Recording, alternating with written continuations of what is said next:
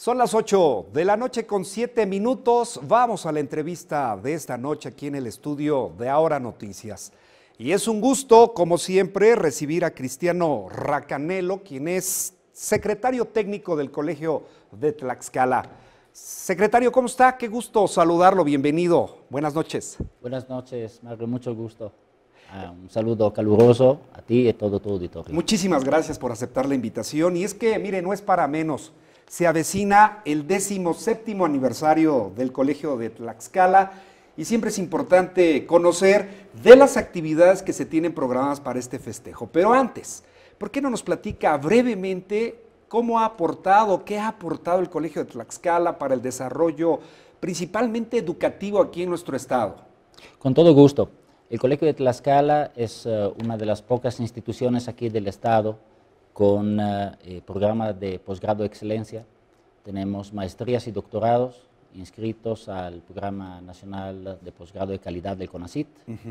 Y eh, distintas áreas, desarrollo sustentable, turismo sustentable, políticas públicas y evidentemente la labor del, del colegio a través de estos posgrados es incrementar el nivel de profesionalización y también de los investigadores que acuden al colegio para desarrollarse.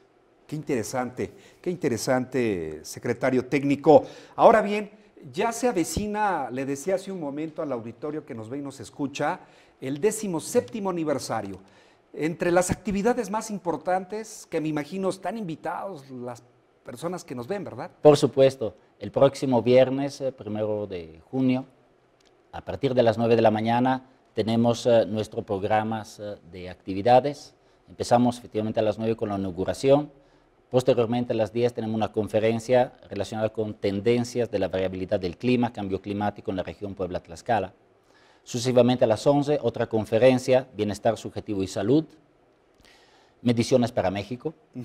Sucesivamente, a las 12 del día, tenemos la presentación de un libro también relacionado con temas ambientales, del título Los retos uh, actuales de las ciencias ambientales y de la sustentabilidad en México. Uh -huh. Y para terminar, a las 5 de la tarde tenemos temas relacionados con derecho, el control de la convencionalidad y los derechos humanos.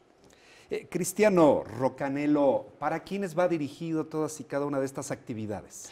Eh, inicialmente, digamos, todas nuestras actividades eh, son, eh, este día en particular, son sin costo. Uh -huh. Están dirigidas a toda la población, en particular servidores públicos, estudiantes interesados en las materias ambientales, eventualmente de derecho o de bienestar y salud.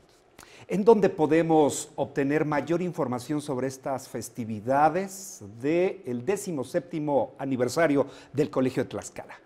Eh, inicialmente a través de nuestra eh, página de internet www.coltlax.edu.mx o alternativamente también a través de nuestras redes sociales en Facebook, diagonal eh, Coltlax, o a través de eh, Twitter también, arroba Coltlax.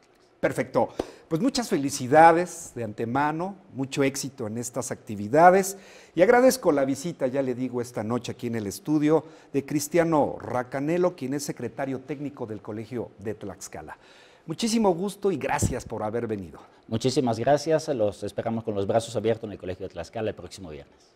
Gracias.